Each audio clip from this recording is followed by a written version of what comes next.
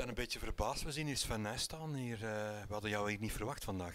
Ja, maar ik zit in de studio straks aan de finish. Uh, samen met Karel van Nieuwkerk en Sven van Toernout. Om de analyse te doen voor de vrouwenkoers dadelijk. Morgen naar jouw eigen zoon is niet mogelijk, denk ik. Hè?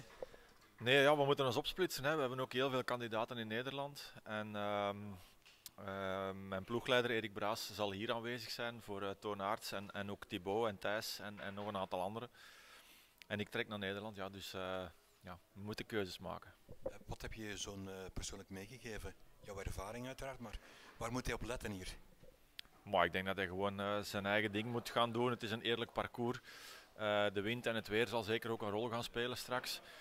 En uiteindelijk zal het zand natuurlijk cruciaal zijn. Kom je daar goed door, kan je daar wat krachten sparen. En, op zich kent hij het wel, heeft hij al wel wat ervaringen met kampioenschappen. En uh, in principe, als hij straks echt diep de finale ingaat, heeft hij ook nog een heel snelle eindspurt. Dus dat kan ook nog wel helpen. Hij steekt in een bloedvorm, denk ik. Hè?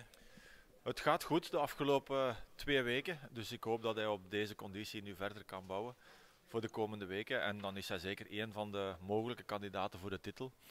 Maar uh, er zitten een aantal andere jongens ook echt in heel goede doen, waaronder Joran Wiseuren, uh, Emil Verstringen. Dat zijn zeker geen gasten die je mag onderschatten. Voor jou persoonlijk morgen, uh, wat verwacht je daarvan? Bij de profs heren dan, ja, ik denk dat Wout van Aert echt met kop en schouders er bovenuit steekt. Zelfs een lekke band gaat hem niet direct van een overwinning halen.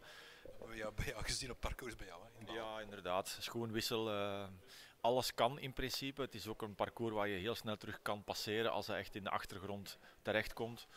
Dus uh, ja, het, zou, ja, het is in principe op papier de minst spannende koersen van allemaal. Voor jou persoonlijk in Nederland, uh, wat verwacht je zelf? Dat kan alle kanten uit. Ik denk dat wij als ploeg daar heel veel kansen hebben om titels te pakken. Maar het zou ook kunnen zijn dat we met lege handen naar huis gaan. Uiteraard met Shirin van Androoy, Pim Ronnaar, Lars van der Haar en Lucinda Brandt hebben we favorieten in huis. Uh, maar ook daar moeten alle details kloppen. Het is een parcours um, dat, dat alle kanten uit kan. Het gaat vrij snel zijn, moeilijk om iemand uit de wielen te fietsen. En dan mag je zeker een, bijvoorbeeld een, eh, een Marianne Vos of een Corné van Kessel niet uitsluiten. Wanneer is Van Nijs tevreden? Als ze het beste uit, uh, uit, zichzelf hebben gehaald en als we dan straks geklopt worden in de spurt, um, ja, dan kan dat zomaar zijn dat je ook tevreden moet zijn met een tweede plaats. Maar uiteraard hopen wij toch wel een paar titels mee naar huis te nemen. Laatste vraagje, wie klopt Thibaut Nuis? Maar ik denk dat Joran Wiseuren de grote uh, uitdager wordt. Uh, heeft in Kokzijden ook, uh, het was wel geen wereldbeker, maar hij heeft daar toch ook getoond dat hij op dat soort ondergrond heel goed uit de voeten kan. En heeft ook in Gullegem een tweede plaats behaald bij de profs. Dus ik denk dat hij zeker ook een van de favorieten is. Succes. Dank u wel.